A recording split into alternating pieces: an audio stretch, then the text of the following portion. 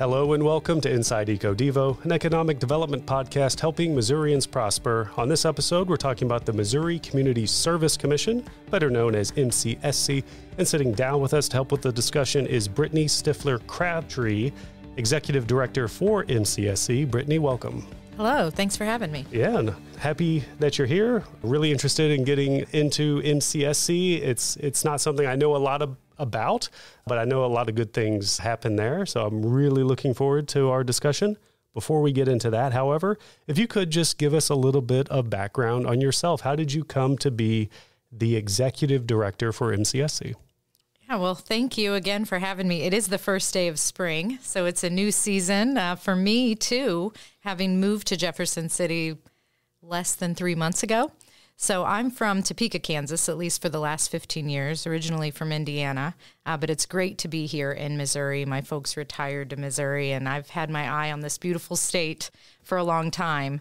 Reflecting on your question, 10 years ago, I was the executive director of the Kansas Volunteer Commission. At that time, Kansas was fourth in the nation for volunteerism.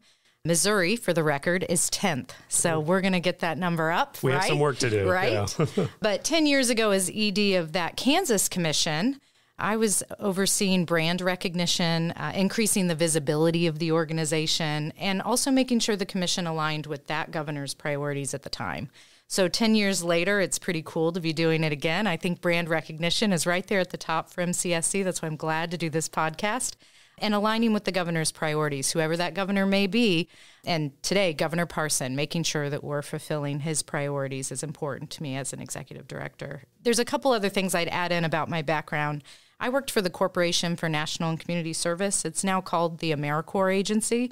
Um, but that gave me the federal lens on all of these commissions and their state level work. And at that time, I oversaw compliance in Kansas, Missouri, Oklahoma, and Louisiana. So that's a really good perspective for somebody coming into statewide compliance. I mean, we do a lot of amazing work at the Commission. I don't want to act like it's just compliance, but making sure that our grantees have the tools they need to succeed is a huge part of our job. And I'm glad to have that federal background. And then looking at it from one other lens, I'm an AmeriCorps alum. So I, in my 20s, served with AmeriCorps National Civilian Community Corps in Washington, D.C.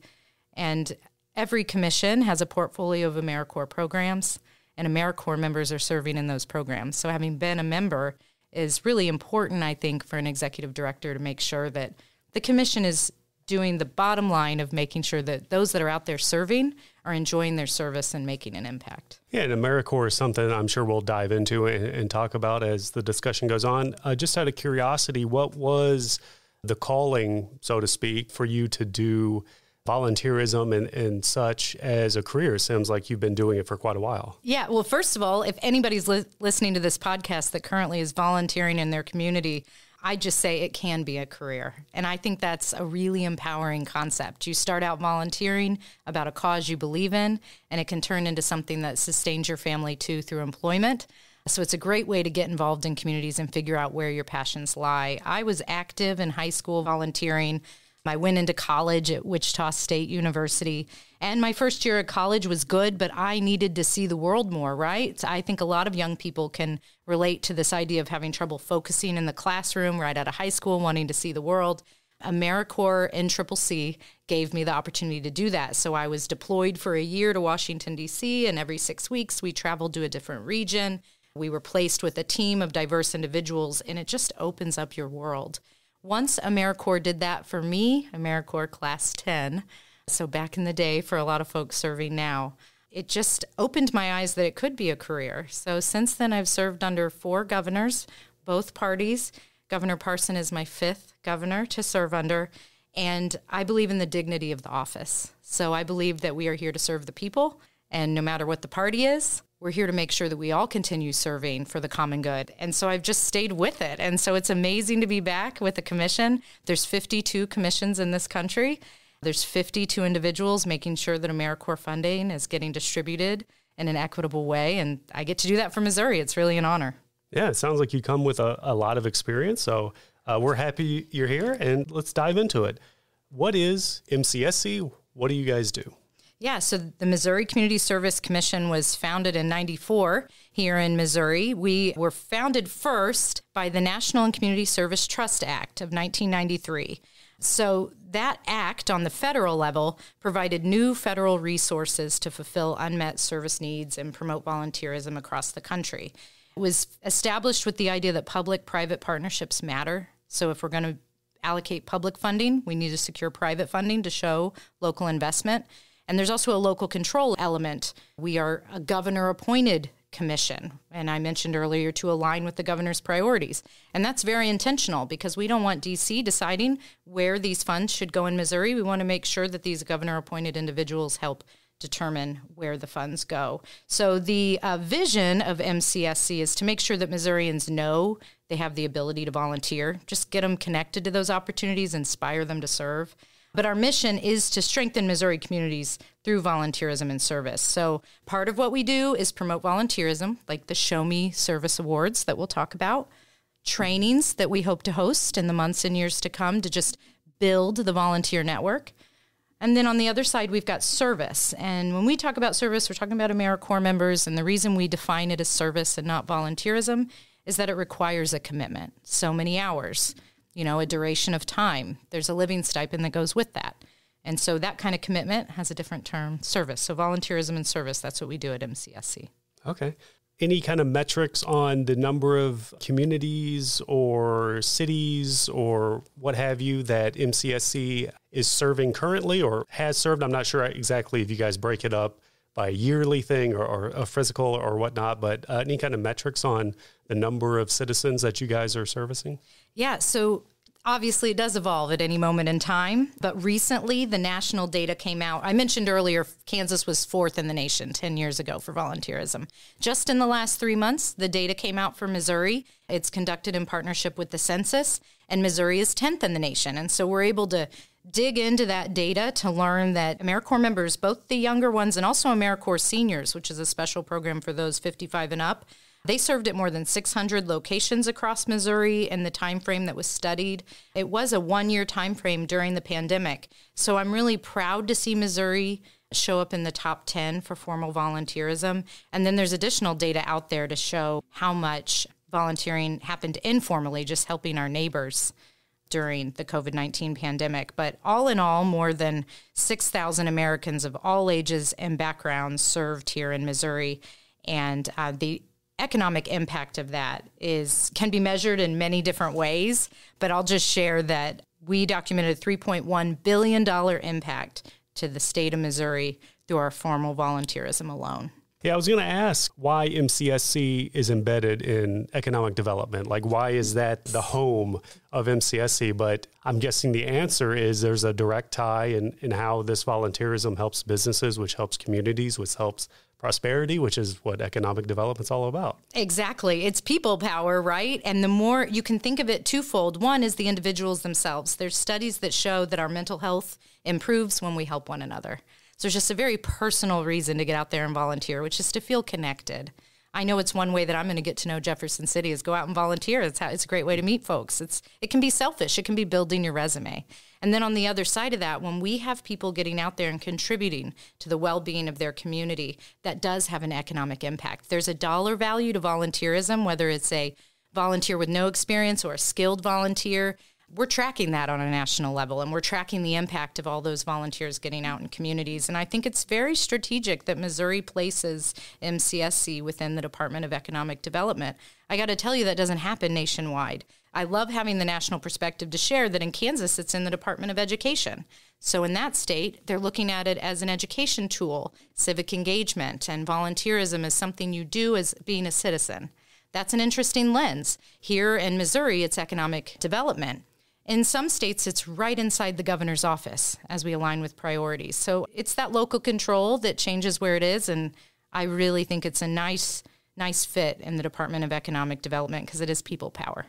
Yeah, with that perspective that you bring, you were in Kansas, you kind of oversaw a couple of other different states, and you were just mentioning there, Kansas, it's embedded with education, we're with economic mm-hmm. development. Does that speak to the kind of customization of the building of programs that a state's I mean, they're not all called, you know, what we call MCSC, but their version of it, is it customized to what that state's end goal is? How does Missouri's focus differ from there, and what kind of programs do we have? I know that's a really loaded question, but it just kind of sparked uh, yeah. in me with what you were saying there. I think it's so interesting, and I really appreciate that we're starting the conversation in this foundational lens because every state should revisit how these things evolve over time and make sure it still serves their needs. So in Missouri, we were founded through an executive order, and we were originally housed within the Lieutenant Governor's office.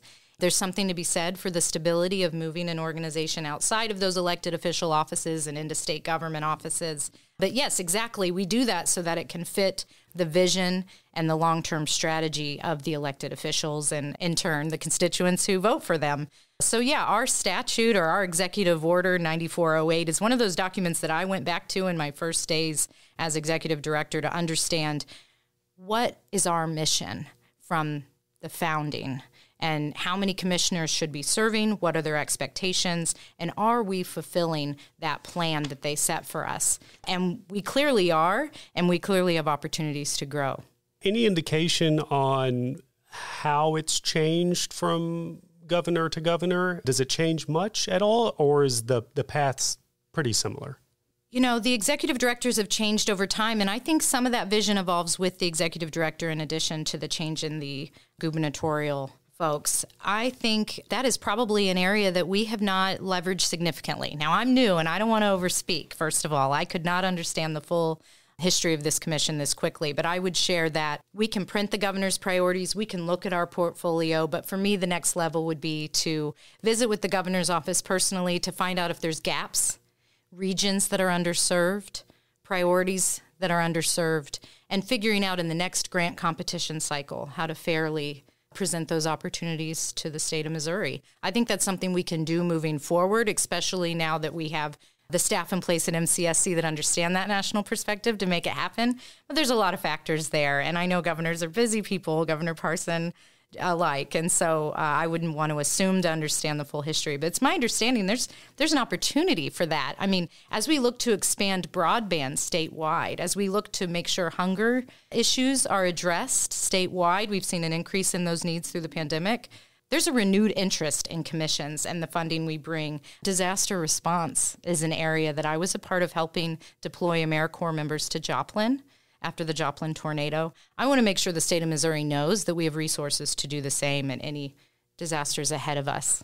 Fair enough on uh, the, the history side yeah, there. Yeah. Uh, I didn't want to throw you through a loop, but it just kind of popped in my head there. Absolutely. Um, a little bit ago, you had quoted a number. I kind of wrote it down here, so forgive me if I wrote it down wrong. Uh, somewhere in the neighborhood of 6,000 volunteers in Missouri within like the last year or so. Yes. Um, and I guess that's tied to AmeriCorps, and I want to jump into AmeriCorps here in a bit. But before we do, uh, can you talk about the the team of MCSC? We've kind of gotten a little bit of you, but there yeah. is a team that works under you. What are they doing versus you know what AmeriCorps is doing? I think uh, from what it sounds like, AmeriCorps is kind of boots on the ground. We're doing the volunteerism, but the MCSC team, what are they doing day to day basis uh, for volunteerism?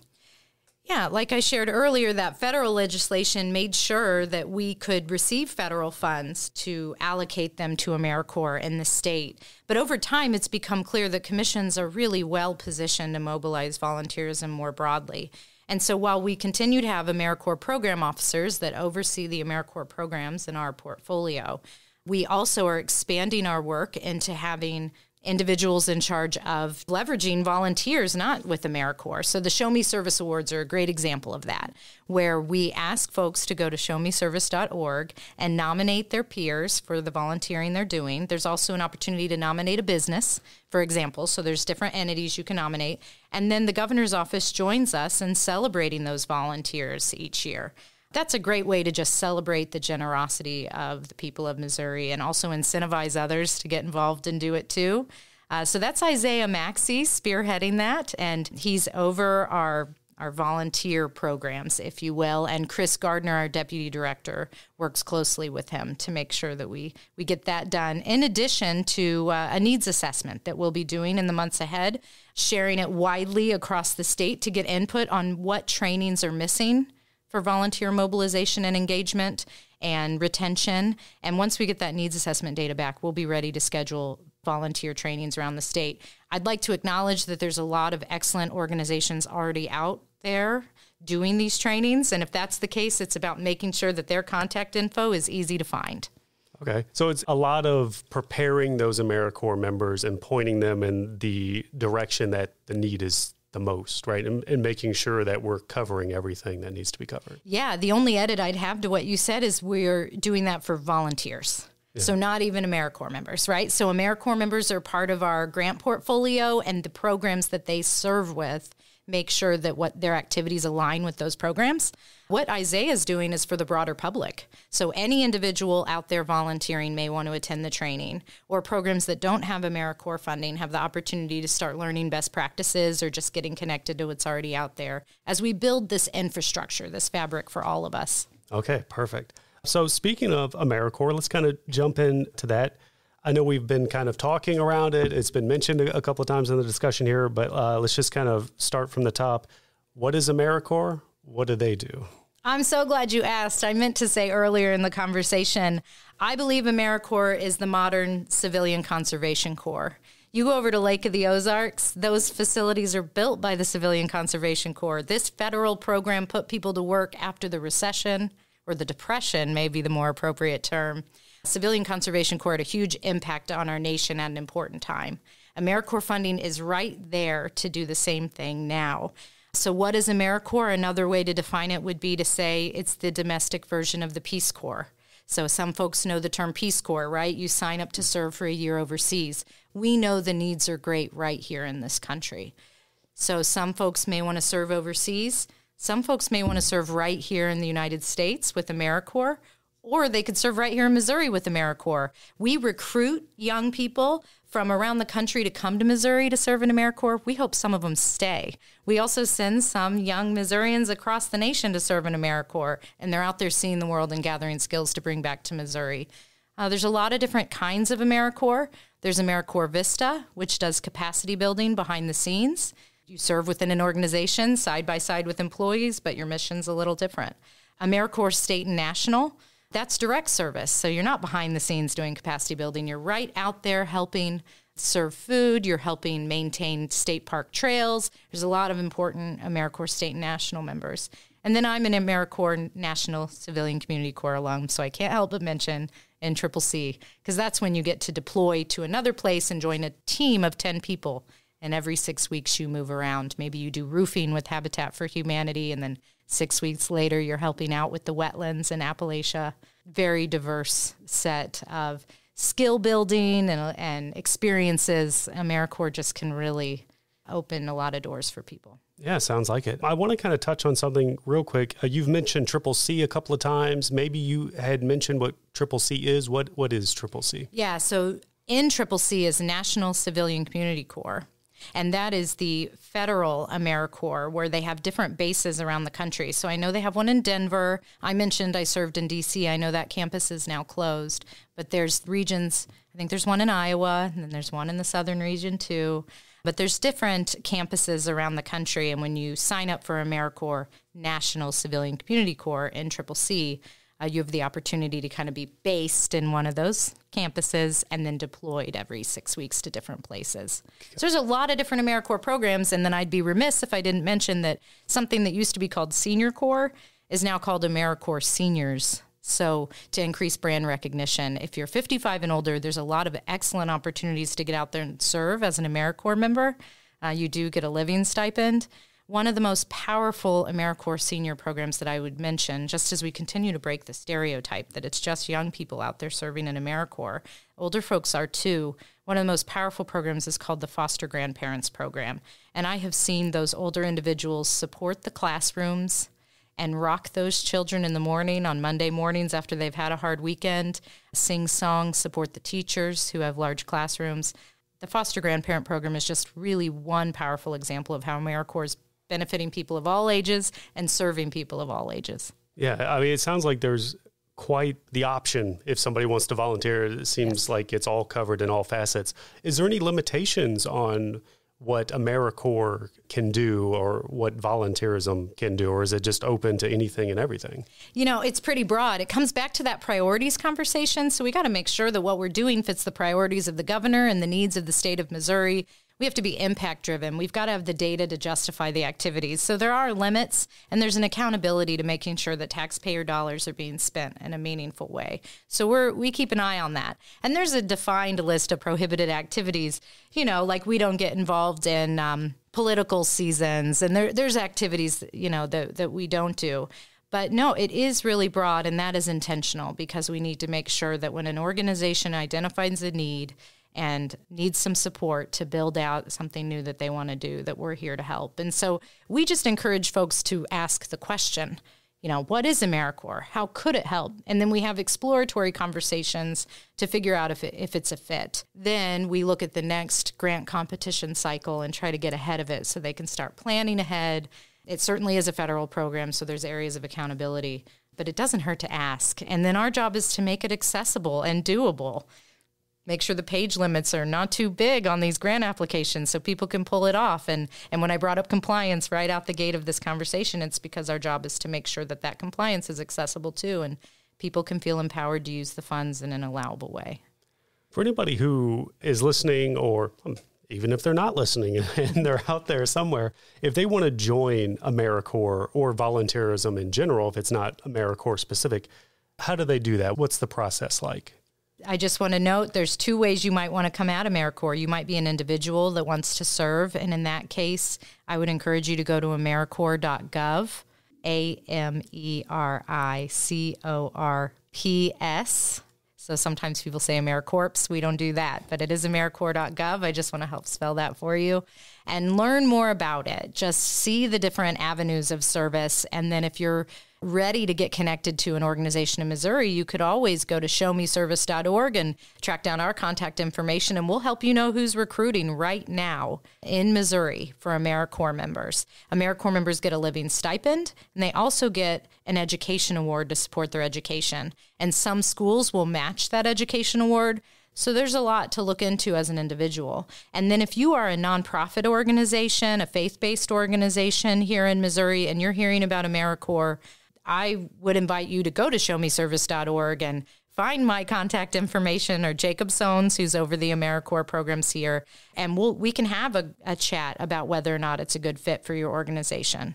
And for those who sign up for the first time, is there anything expected of them. I mean, I'd imagine it's not as strict as like signing up from the army. Like you sign up, like, hey, you're in the army now. But if somebody signs up, is there um, like a bulleted list of like, we require you to do this, we expect you to do this, that kind of thing? There are going to be age constraints for different AmeriCorps programs. So you'll want to check to see does this one require 18 to 24? Does this one require 55 and up? So there are different age restrictions depending on the program.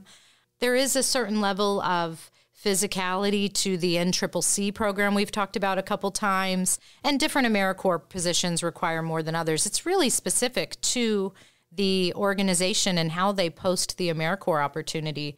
So, just like we talked about, the op- opportunities are diverse, the people serving in these roles are diverse. And so, I wouldn't want anybody to hold themselves back thinking they don't have what it takes. There's probably an opportunity out there that fits what they're passionate about and able to do we can look into those details. But no, AmeriCorps members are incredibly diverse. Uh, let's change gears just a little bit and just talk about volunteerism in itself. And we'll kind of just start with kind of an obvious question, I guess, or the answer might be obvious, but why is volunteerism important?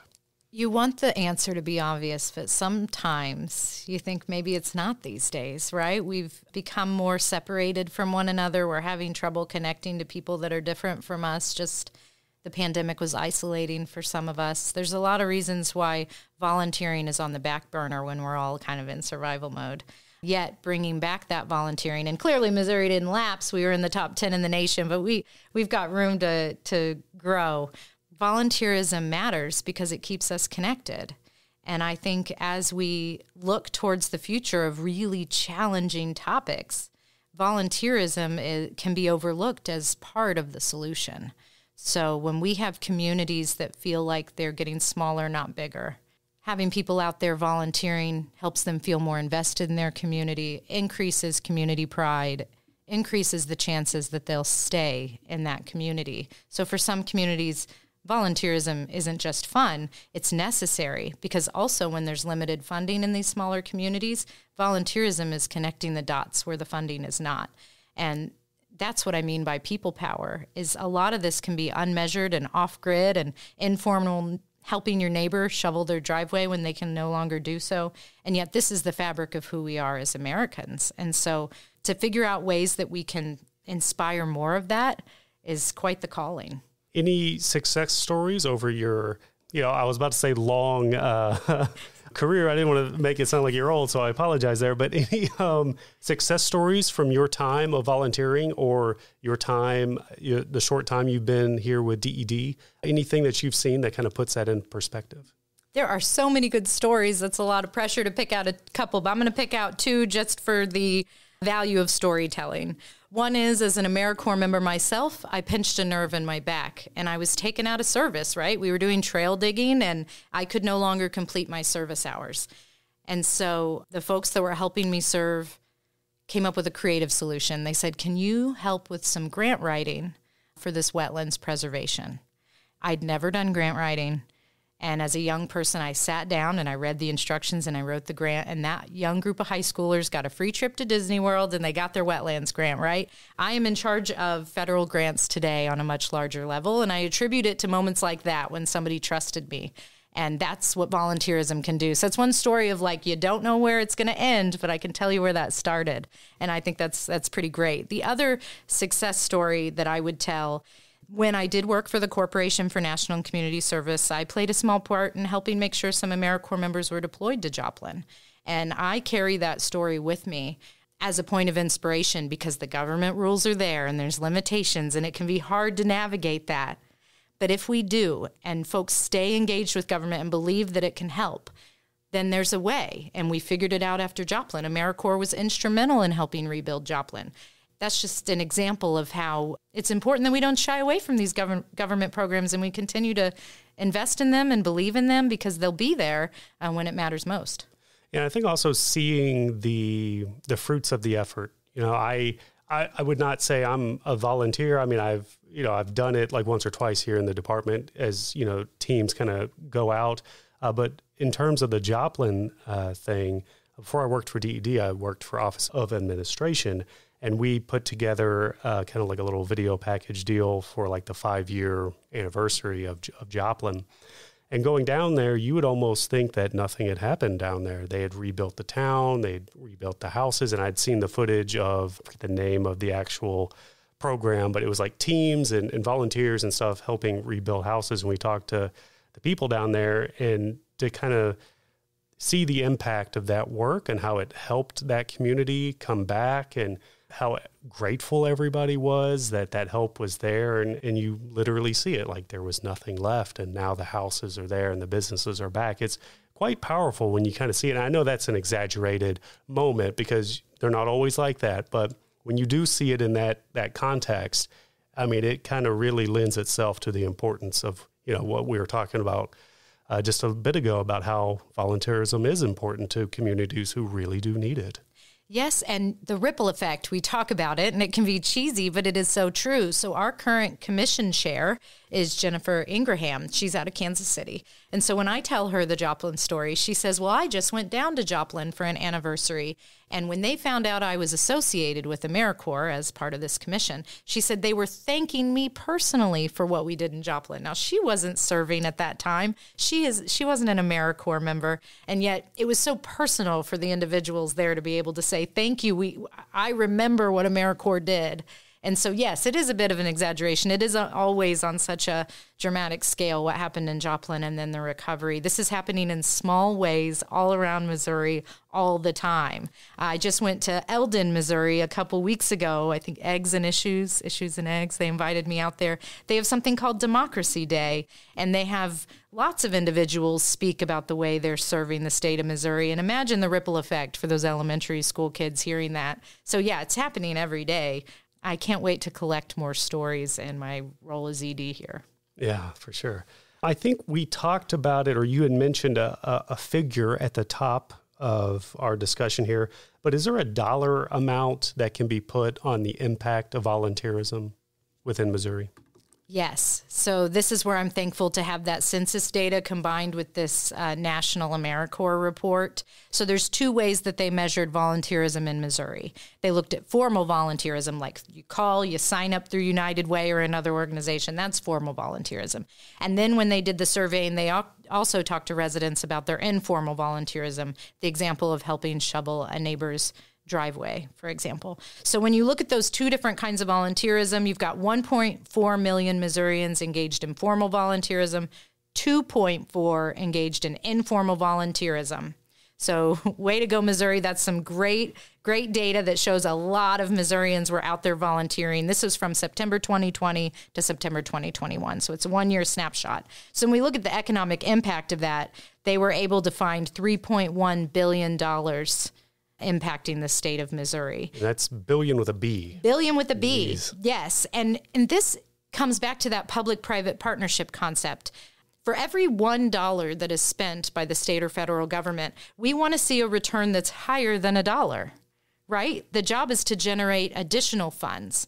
And so I'm proud that when we take AmeriCorps programming to small towns in Missouri, that there is some level of match. Now there's match waivers because there's been a pandemic organizations have gone through a lot. So there's waivers for that match, but also to the elected officials listening or the taxpayers that are scrutinizing this concept, when we talk about $3.1 billion in impact, we're talking about some of those monies coming from local.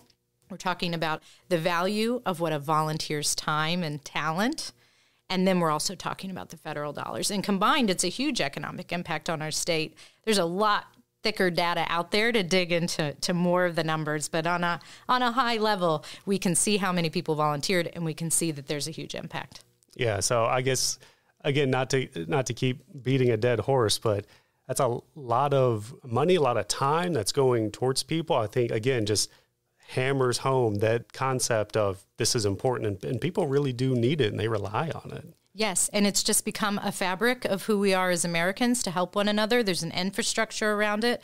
What the government's partnering with nonprofit and for profit, and together we can move the mark on some of these challenges that you, otherwise you're not sure how you're going to get it done. Yeah, I guess kind of a, a, soft transition, similar to what we were just talking about there.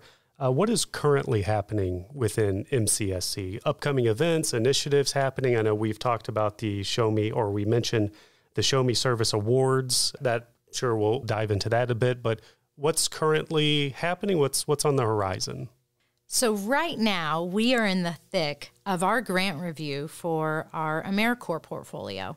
And so for those that have been listening that are like, but where do I what's the timing of all this? In the fall, we will release our notice of funding and then that process kicks in through May of applying, reviewing, and then our commission ultimately voting on that portfolio. So we're in the thick of that right now. And in May, our commissioners will come together here in Jefferson City to determine who will be in our AmeriCorps portfolio. So, what I would say to folks listening is this fall, that process kicks off again, and we would love to see new applicants enter the pool. And so as you go to showmeservice.org, you can reach out to us and we can make sure that you could even see last year's notice of funding just to get an idea. But that we're really in the thick of that grant review, and it's a very important part of our work that I'm really slowing down to highlight thoroughly here because the, there are nonprofit organizations that are, have had successful programs for years that need us to once again renew their funding, make sure those AmeriCorps members are still on the ground in Missouri. That's what we're in right now to make sure that that gets done. As we look towards the summer, we'll have our AmeriCorps program director training. In the fall, we'll have opening day where AmeriCorps members come together and say the pledge, which is a powerful moment. And along the way, we'll have the Show Me Service Awards. So we don't have the date and the venue solidified yet for the Show Me Service Awards, but we know they're going to happen this summer. We are thankful for Governor Parson's support on the Show Me Service Awards. It brings the prestige to them that they deserve. And we would ask people to apply because right now we're accepting nominations. So now's the right time to go to showmeservice.org and make sure if you know of an outstanding individual that they're considered an outstanding organization. What are the categories for the awards? Well, I know there's an individual category. I know there's a business category. I think there's one or two others. And I do think there's a lens on making sure that every region is represented. Okay, great. The importance of showcasing the work and honoring or awarding those who are outstanding in their chosen path. Can you talk a little bit about that? About the recognition that obviously volunteerism isn't about recognition, but there is an element of honoring those who go above and beyond. Can you talk a little bit about that? That's exactly why we have to make sure we build recognition into the process because volunteerism it's not always inherent in the process to stop and celebrate impact and celebrate the individuals that made it happen. And that's exactly why we have to make sure that there's things in place that it happens because we don't we don't want folks to burn out first of all. So you can think of every nonprofit board or even some of those volunteer programs in your own town some of the same folks are showing up every day to get it done. And those folks can get tired. And it's important that we take the time to celebrate them. In addition, when we celebrate them, there might be someone coming up behind them that says, I should step in. They, you know, they need a little help. And look, by celebrating them, we now have a second person that wants to step up. So there's just something to be said anecdotally for celebrating people. But then on a more technical level, it's been studied, uh, I can't fully reference it here, that there are a certain number of steps of volunteer engagement we would do to succeed. From the beginning, making sure that what you assign a volunteer meets their interests, to making sure they've received sufficient training to do it and then at the end, celebrating them, acknowledging them. This is all part of how you keep volunteers engaged in a community. So when I talked earlier about the Missouri Community Service Commission getting involved in setting up these statewide trainings for volunteers, that's because we want to bring those best practices to light. And then you see right there on paper that a very important part of the process is celebrating your volunteers. So we want to do it on a statewide level. We're hoping organizations are doing it on a city level, and then they're doing it within their organizations too. And so it's really modeling the best way to keep a volunteer engaged in an organization, knowing that so many organizations depend on those volunteers. Well, I feel like we've covered quite a lot of content here. We we talked about the high level stuff of the who, what, why, where, the kind of the, the facets of where people can volunteer, how they can volunteer if they want to. Before I open up the floor to you to kind of just, you know, fill in the cracks on anything that we might have missed, just real quick, one last thing on the Show Me Service Award nominations. If somebody wants to nominate somebody, vote on something, or, or what have you, where can they go to do that? Yeah, so it's right there on the homepage of our website. So if you go to showmeservice.org, right there front and center, you'll see we're accepting nominations. And if you have any questions about that, you'll also see where you can email us to ask questions. But just go to showmeservice.org, check out those categories. You can read the criteria a little bit more in, in depth. And please consider nominating somebody, especially if you're from southwestern Missouri or southeastern Missouri. So we do not just want St. Louis, Kansas City, Columbia, Jeff City represented in these awards. We need to make sure we get out there. And so right now, off the top of my head, I could tell you we need a few more applications from Southwest Missouri. We'd love to see those come in. Okay. Uh, before I close this out here with our last question, I'll just open up the floor to you. Is there anything that we didn't cover that you think people should know or that you would like to talk about? I just say that I stand on the shoulders of the executive directors that have come before me that have made sure that volunteerism and service stays strong in Missouri. But this is a new season, right? I've been executive director for 90 days, maybe. So if there are ideas, or if you've heard this interview and you've heard gaps or misunderstanding, I'm new to Missouri. I am open to that feedback. That's only going to make this organization stronger. I think it's a it's the first day of spring, I said. I started. It's a new season for this organization and for myself too. And it's a really great time to get involved with the commission. We even have a few openings on the commission itself. So if there's individuals that want to be a part of voting on where the funds go from the Missouri Community Service Commission, or want to weigh in on the priorities of this commission, you might consider on a more strategic level putting your name for consideration to serve on the commission itself. And again, if you go to showmeservice.org, you can find my contact information there. I'm Brittany Crabtree, and, and I'd be happy to get you connected to the appointments office of the governor's office here because we want every spot filled so we can have a diverse group of folks voting on the funds. Yeah. All right. So I'm sure, as you know, the department's motto is helping Missourians prosper. So, how does the work that you do, the work that the team of uh, MCSC, how does all of that push that motto forward? The answer seems very obvious, but I still like to ask it anyhow. It is so obvious. Just go back and listen to the podcast. but let me just say that word prosper, I would ask you to consider what it means to prosper and what a quality of life means for everybody. And I think as we look around at one another and know we want to help one another, then we've got to take the next step and figure out how to do it. And that's how, how we make sure we all prosper. Yeah, quality of life. That's what volunteerism and service makes sure we have in a more wraparound way to the traditional ways that we think about economic investment. Perfect. I think that's a, a great uh, closing out quote there. Brittany, thank you so much for taking the time. I know it's busy for everybody, so I do appreciate it. And hopefully, the listeners gleaned something, and hopefully, you guys get a few more volunteers from this. Awesome. Thanks so much. Let's do it again.